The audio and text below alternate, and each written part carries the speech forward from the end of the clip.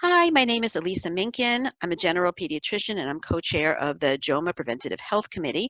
And I'm here today with Dr. Miriam Lieberman. Dr. Lieberman is a board certified dermatologist who specializes in medical and cosmetic dermatology.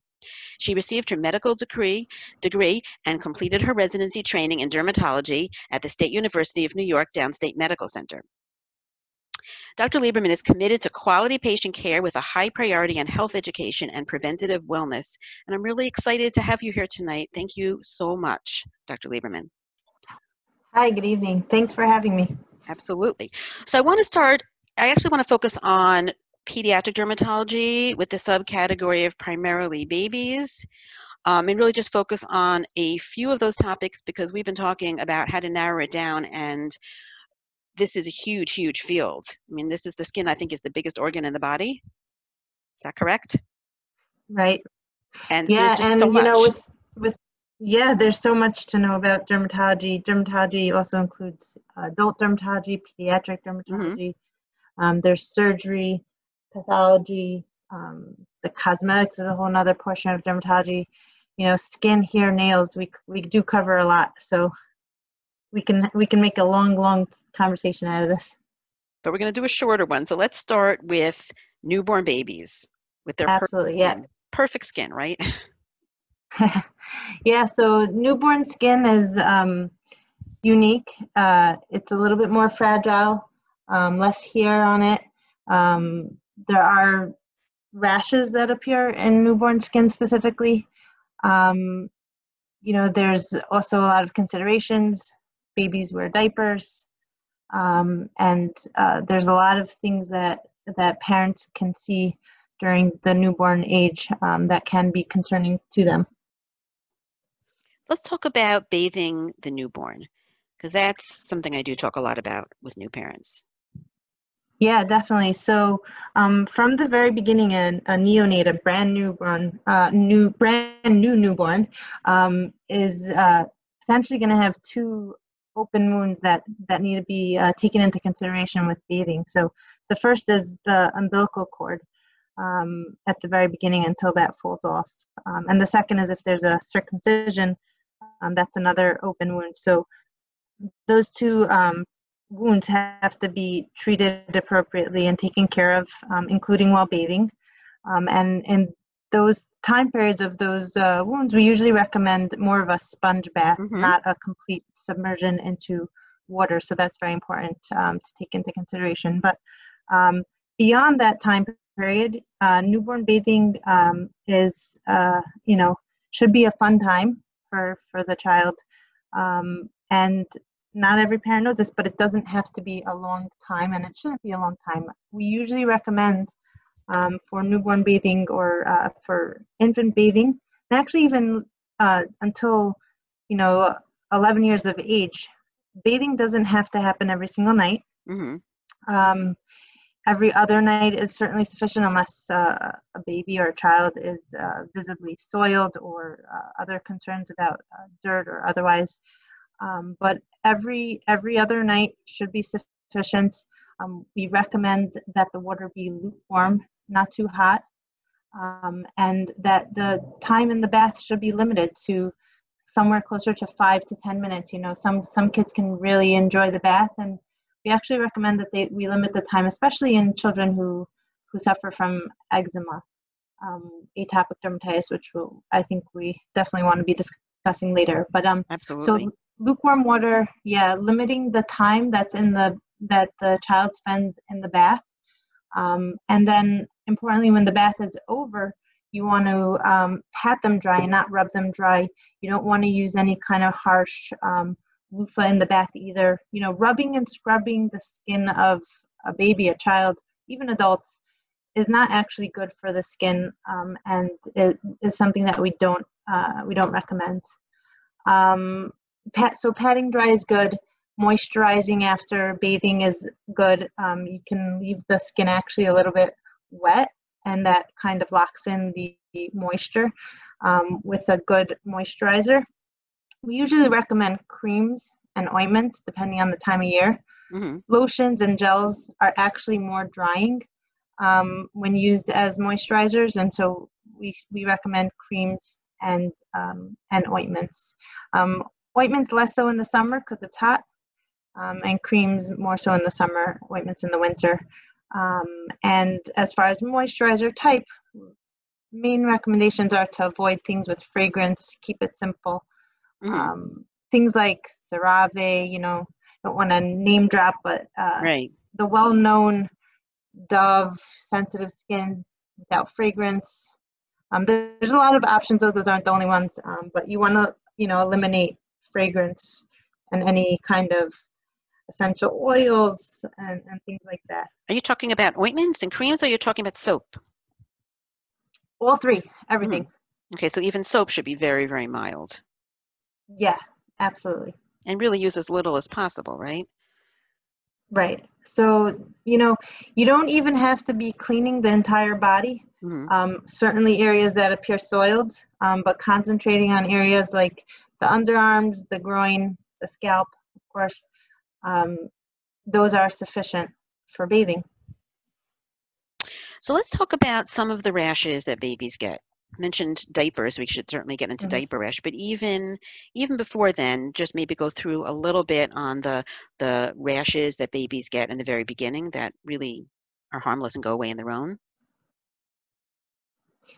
Yeah, so um, the baby rashes that we see usually within the first um, four weeks, Mhm. a lot of them are transient, meaning they're temporary, they, they self resolve. Um, certainly, if there's anything that's uh, sticking around for longer than what you would expect, or, or uh, if there's any concern, definitely you know see the pediatrician, see a dermatologist. Um, you know, things that can appear like acne, things that appear like uh, dandruff, for example, uh, what we call seborrheic dermatitis, or more commonly known as cradle cap. It can appear on the scalp. Yeah, cradle cap can appear this on the scalp, but it can also appear on the body um, of of babies, and um, that usually peaks at about three months' time. Um, there's also overlap with the with uh, atopic dermatitis or eczema that you can see with the seborrheic dermatitis. Um, Now, how There's, you tell uh, those? I mean to interrupt you, but yeah. how can you tell those two apart? so the distribution is usually different. hmm Um, the timing is a little different, and um, just the appearance of the rash itself differs. So that's something that you know you're going to want to see a doctor for, so that they can help make that distinction and then guide you appropriately with with the treatment because the treatments do differ um, between seborrheic dermatitis and uh, atopic dermatitis. Could Sometimes we have to treat both Mhm. at the same time. So hmm I mean, I've heard them described as seb eczema because they overlap so much. yeah, exactly. So how would you treat one versus the other in say a three month old? Right. So seborrheic dermatitis is usually uh, yeast based, and so we're going to try to treat it with um, an antifungal, which targets the yeast as well. And then the eczema or atopic dermatitis that, that we um, usually refer to it as is usually going to be based on bathing habits, moisturization, um, topical steroids when needed. You know, it depends how severe it is. It depends what's what's needed in in uh, in which location it is, etc. But um, they do have uh, different treatment, different approaches. hmm hmm And let's start with diaper rashes.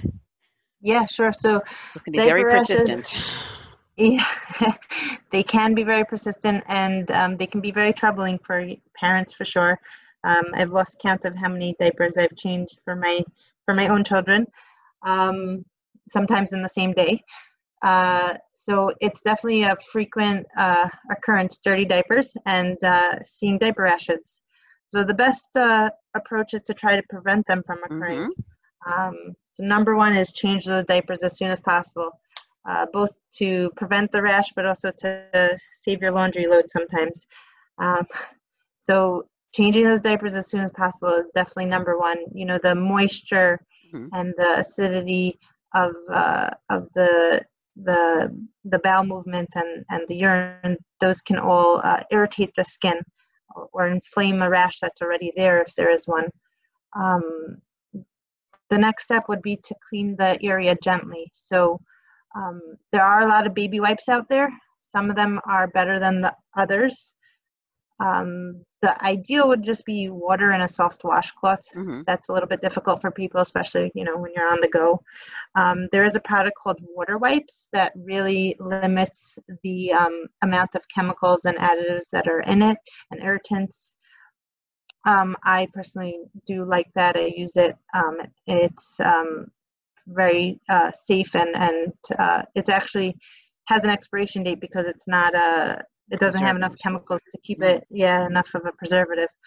Um, so you know clean the area gently water soft washcloth. You want to let the area dry air dry ideally before you put on a diaper again um, because you're just locking in that moisture and creating more um, more potential for a uh, a rash. Um, it's good to have handy um, a zinc oxide diaper cream something like Desitin, Mhm. uh, especially if you're seeing red between those changes. Um, that's a sign that the you know you need to be applying something like a zinc oxide. Um, if the if it's getting worse than just looking red, um, layer it on like you're you're you know almost like we say like you're frosting a cake. You don't have to remove that cream in between each diaper change. You can leave it, um, and at the end of the day, try to try to clean it up a little bit better. Um, certainly, you know, if there's any concern for a skin infection, or you know, some babies do have very delicate skin, or or they're getting very irritated from from their diapers. Um, and the rash is not getting better, then that's the time to speak to your pediatrician, speak to your dermatologist. So you can also have a yeast infection on top of a regular rash, and that can often be hard to treat. Just wanted you to give a little bit of advice when it gets, how would you know that there's a yeast infection and what could we do to get rid of it? Yeah, so um, the diaper rashes from the, uh, you know, from the bowel movements and from the urine, those are more of an irritant contact dermatitis. So the something's irritating the skin. But there's lots of other rashes that in, can occur in the diaper area, including yeast. It can be, um, you know, psoriasis is another rash that can occur in that area. We don't usually see eczema or atopic dermatitis in the diaper area just because it's so well kept moist um, that uh, it doesn't tend to form there. Um, but there's certainly other rashes that can be concerning. So I think the number one key is if it doesn't look like your regular diaper rash and you're feeling concerned, it's time to to point it out to a doctor to, to get some help. But you know, you, following those steps of changing dirty diapers as soon as possible, being gentle, applying the zinc oxide, um, to prevent any other kind of irritant diaper rash. That's definitely the, the first approach. Right, because what I find is that it starts out like a regular diaper rash. The skin is irritated and it's moist there, and yeast starts growing. So you start out with a regular rash, and then it becomes a yeast diaper rash. And then the question is, um, can you? And I'm doing this more from a medical, you know, a doctor's perspective at this point, right? Um, Yeah. Everybody who has a child with a rash is not going to be getting medical advice from this podcast. They're going to go to their doctor. Right. Um, but I do want to talk about it because it's a common scenario. So a child gets a yeast rash and they're using the antifungal, um, but it's still very, very raw and painful. Do you use a topical steroid at that point? The reason I'm asking is there used to be a medication that combined the two, and the advice, you know, to Right. doctors has been don't use it. I, I don't use it. I'm just curious what Right. you do.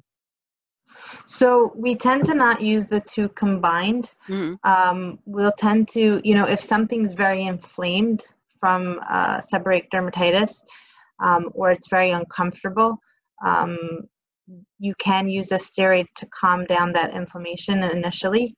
Um, but the mainstay of the treatment is going to be um, with uh, an antifungal, both as a, a wash or as a cream. And, um, and time also improves um, pr- improves it in, in these newborn babies. hmm hmm Very good. Let's talk about eczema because that's really, I think, what pediatricians spends the most time of all the rashes is the eczema rashes or atopic dermatitis. Right. Right. So yeah. So atopic dermatitis. You know, a lot of people call it eczema. Um, atopic dermatitis is just a little bit more uh, specific, but it's a very common skin condition in babies. Um, about one fourth of children are affected, um, especially uh, during the first year of life. Um, there's no cure for it, uh, unfortunately. Um, it can be well controlled with uh, a lot of skincare, um, including like what I was mentioning, moisturizers, prescription medications, including steroids. Um, and then, you know, if there are, are, any triggers for it, eliminating those triggers. Um, it has a, it is thought to potentially be genetic. You know, it's been shown that uh, mothers and fathers, either or, mm-hmm um, who have a history of atopic dermatitis are more likely to have a child with uh, atopic dermatitis. But that's not to say that you know somebody has to have parental history in order to to have it. Um, it can go both ways. Right. When you um, say it's um, not curable, it, this does not necessarily last for life. That's true also, yeah. So that's the next point. Um, mm-hmm. In the majority of cases, um, children who have atopic dermatitis, it usually does improve over time and um, they won't, they won't be uh, affected by it in their adulthood. But there are cases, there are situations where um, a child with atopic dermatitis will continue to have it um, through adulthood. Are there ways to prevent or make it less severe early on, say if you know there's a genetic risk? Yeah, absolutely. So if there's a known genetic risk um, of either atopic dermatitis itself, or even in families that you know a lot of allergies mm-hmm. or asthma tend to run, those are the that's the atopic what we call the atopic triad, just three things mm-hmm. that tend to go together, or the atopic march. Yep. Um, so in those families, you definitely want to, from a very young age, start with all the um, gentle skincare approach with the with the specialized bathing that we discussed and moisturizers to kind of be ahead of the game and um, prevent uh, any kind of rash from worsening. And it's interesting because the advice we have given in the past with um, skin peeling in newborns, which we didn't really talk about, but is you know universal to have some degree of peeling skin, yeah. is to leave it alone. Um, and I'm reading that mm-hmm. it may be that in the high risk babies, those with a strong family history or siblings, you know, with bad eczema, that you may want to actually moisturize even in the beginning. Yeah, definitely. So p- people with the family history, you want to start it young, and mm-hmm. and that can be after every time you bathe a, a child to moisturize, get into the habit, you know, um, and when they the kids get the child gets a little bit older, you know, involve them. It can be fun for them, and it doesn't have to be scary and upsetting. They can help you uh, put on the moisturizer and hopefully uh, not try to eat it sometimes. and you know, we talked before about bathing, and we said, you know, we really don't want them in the water for too long if they're prone to eczema. But the frequency of bathing is a question that does come up with my patients with with eczema. A lot of the parents believe yeah. they can't wait bathe them that often, or it's going to make the eczema worse. Yeah, so you know, it's funny. Um, it's it's been studied a lot. The frequency of bathing. Um, the general approach is that not to overbathe, definitely, both in time and in frequency. Um, however, in children with atopic dermatitis, um, if you're putting them in the bath appropriately, short, lukewarm, um, like we were discussing, and not scrubbing and, and rubbing and moisturizing them after, mm-hmm. um, then that would be okay um, to do a daily bath. Um, you know, there is actually one treatment approach for um, atopic dermatitis called bleach baths, where mm-hmm. you actually dilute bleach into a bathtub um, as a treatment approach. Kids with atopic dermatitis tend to get colonized with bacteria, mm-hmm. and the thought is, um, and this is still active research, things fluctuate, but the thought is that the colonization of the skin with bacteria makes the atopic dermatitis worse. And so, getting rid of some of that um, skin uh, bacteria can potentially improve the atopic dermatitis. So, we sometimes even use bathing as a treatment, um, as bleach baths. So, that's kind of interesting. Right, definitely ask your doctor before doing that. Yes, always include a doctor in that approach. Very good. Um, so let's talk a little bit more about eczema in terms of the treatment. And really, what I want to focus on is the topical steroids, because that's something I also hear a lot of parents who are trying so hard to avoid the steroids, they are scared of them um, and the side effects that, that they perceive. Yeah, so um, it's understandable to be uh, worried about steroids. You know, we hear sometimes in, in, the news about steroids and all these side effects. Um, steroids come in different forms. They can be taken by mouth, they can be taken through IV, and they can be placed topically. The steroids that we're talking about um, to start with are the topical corticosteroids um, to treat eczema. That medication helps to decrease inflammation. It helps to control symptoms like itching. Um, they can come in a lot of forms ointments, creams, sprays, lotions. Um, you know, the topical medications in general do get absorbed through the skin, but when used appropriately and as directed by a physician, um, it is possible to avoid uh, potential side effects that can occur. Um, and it is safe to use, and it's important to use. Um, treating your child's eczema or atopic dermatitis quickly before it worsens um, will make it uh, easier to treat. You know, once mm-hmm. the condition worsens, it's even more difficult to treat. Um, and it creates more problems like uh, skin infections mm-hmm. that you know add on more medications that are needed to treat you know as the skin breaks down the skin is our barrier to the outside world. So when the skin breaks down it makes it easier for bacteria and viruses other germs to just get inside the body. Um, and so it's really it's not just a cosmetic thing or an appearance thing to treat eczema. It truly is um, important from a medical standpoint to get eczema or atopic dermatitis uh, under control. Um, you know, comfort wise for, ba- for babies or children, um, but also to help prevent these other secondary, what we call secondary infections. And it is really, really itchy. I've heard um, eczema being described as the itch that rashes, that yeah. the itch and then the scratch to break that cycle. It may not just be topical, it may also be a medication by mouth, like right. an antihistamine. So it, Mm-hmm. Yeah, so antihistamines are are used uh, very commonly in atopic dermatitis as well. Um, more from the standpoint of of sometimes helping through the night, mm-hmm. um, with helping uh, children sleep through the night. Um, very often, nighttime is when we feel our pruritus, our itch, kick up mm-hmm. a notch. Uh, whether it's because you know that's the time where our mind starts to rest and we start to notice uh, uh, these sensations more. Um, but uh, that's where the antihistamines generally come into play. It's not clear yet through research if it truly helps with the itching sensation, but it but it is very commonly utilized and um, will continue to be used. Um, and there are other medications I should mention that are being studied um, more for severe atopic dermatitis mm-hmm. that can't be controlled um, topically and with antihistamines. Um, but there are definitely a lot of things being studied, that things that have already been approved um, that are exciting for for uh, patients who do suffer. Mm-hmm, mm-hmm.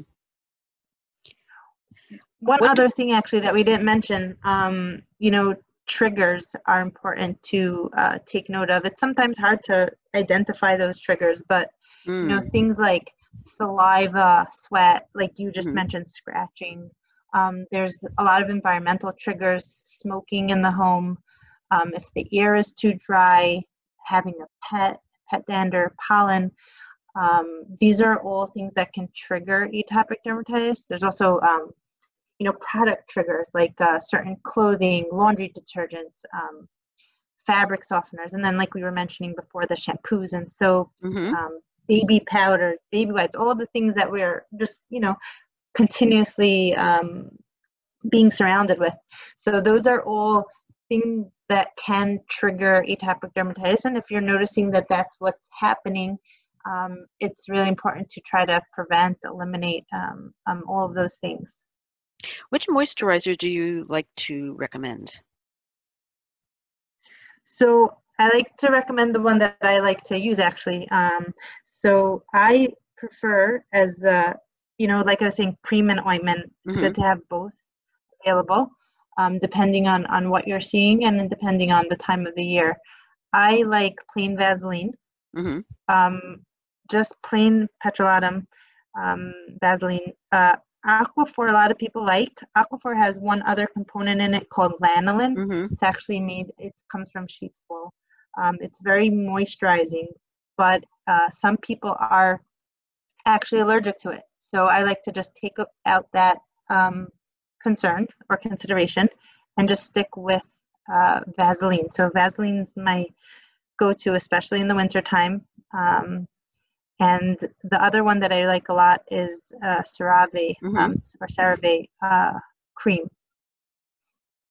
Mm-hmm.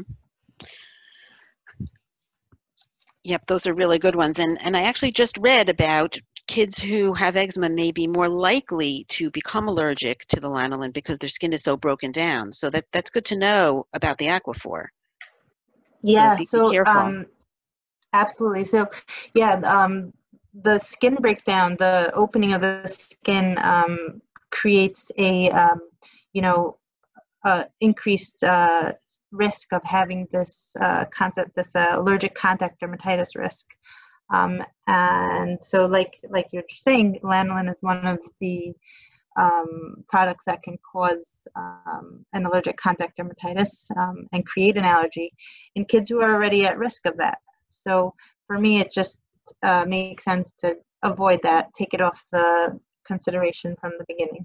Right, absolutely. And also, as a parent, if you notice that you're using something and it says hypoallergenic, but your child is seeming to react to it, don't assume that hypoallergenic means your child can't have a reaction. There are so many chemicals that manage to um, still be allowed under the label hypoallergenic that your child may be sensitive to. So, especially if yeah, your child, that's really having, yeah, having bad eczema, really they may important. be mm-hmm, they may be more likely to be sensitive to it. So that's that's really important to know. And speaking of allergies, um, parents do ask, "My child has bad eczema. Do you think they have food allergies? Could it be foods that trigger this?"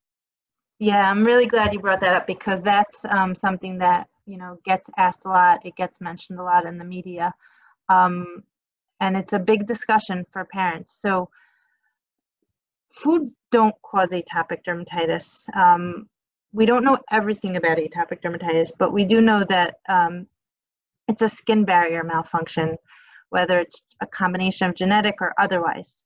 Um, that's not to say, though, that uh, food allergies don't make atopic dermatitis worse. So, although foods don't cause atopic dermatitis, food, certain foods and food allergies can make it worse.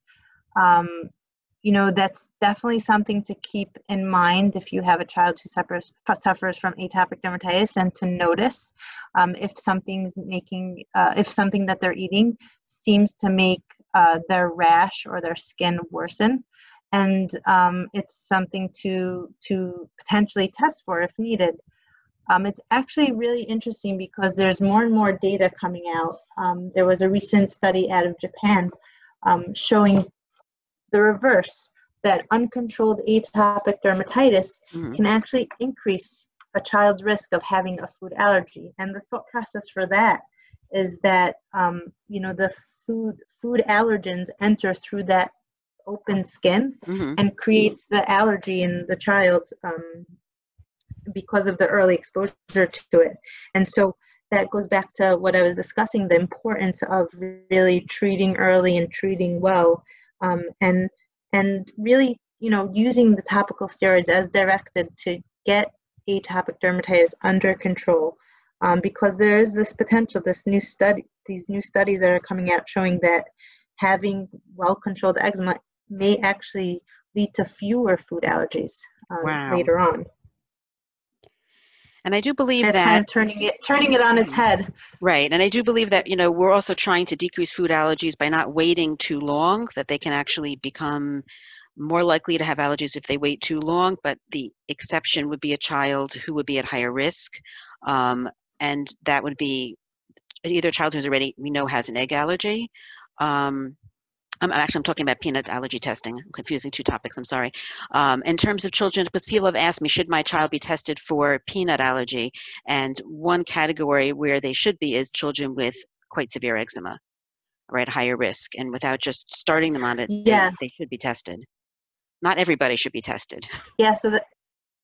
No, right. That's an important. Yeah. So that's very important because um, part of the the concept of what you're discussing is you know you don't want to eliminate foods in your mm-hmm. child that they are not allergic to because that actually increases the risk of them developing an allergy um, so definitely, if you think something's worsening atopic dermatitis, you want to bring it up with a physician Mhm. um, before you just stop feeding your child any foods. But a true allergic reaction, of course, needs uh, immediate attention and and uh, elimination potentially from the diet.